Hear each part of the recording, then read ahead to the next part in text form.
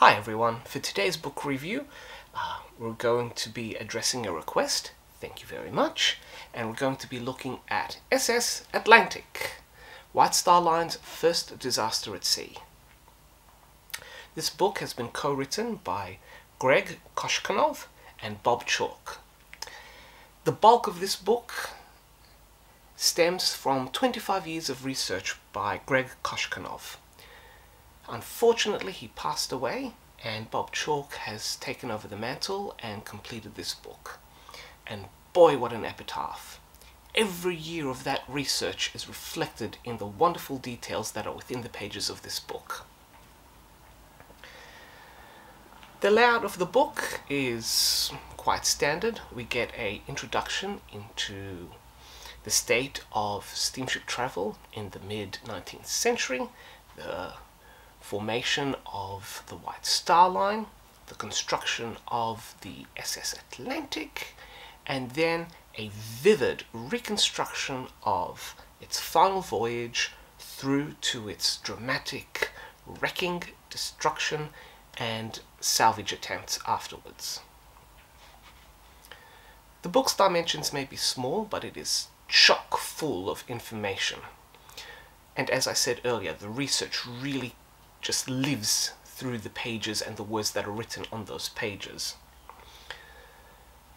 We get an intimate understanding of the lives of the passengers and crew on board, what the voyage was like as they steamed towards New York, and then the conditions that led to the Atlantic running aground extremely dramatically on the Nova Scotia coastline. The account of the wrecking eh, is an absolute page turner. You just feel with the terror and the panic as all these people are trying to uh, save themselves as the ship is being pounded by the waves and then it slowly rolls over onto its port side.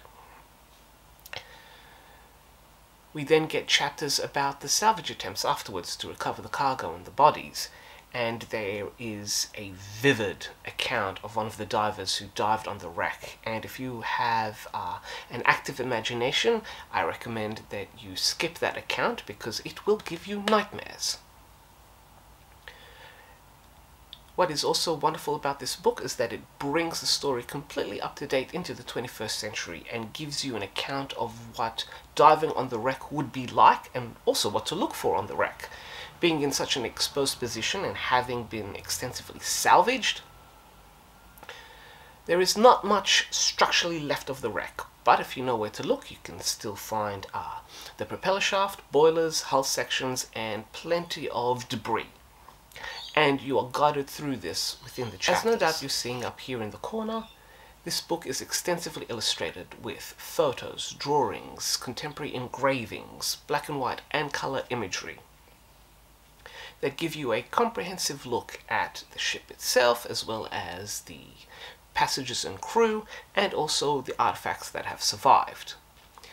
If you are after one book about the story of the SS Atlantic, its dramatic sinking and the events surrounding it, then do get this book. It is fantastically researched and wonderfully written and highly recommended for anyone interested in shipwrecks, the White Star Line, early ocean liners. This is one vivid book to read. So five captain's hats from me.